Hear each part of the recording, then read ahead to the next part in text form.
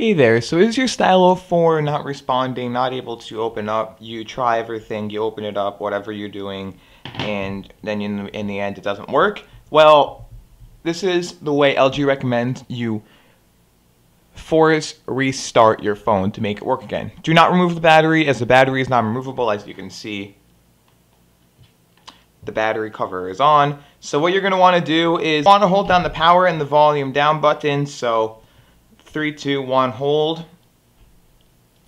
I can't do it. There we go.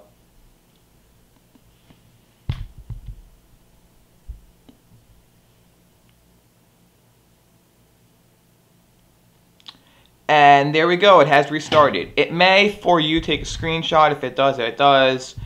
And there you go, it has been reset. So that is how you, well, fix a frozen screen on your LG Stylo 4.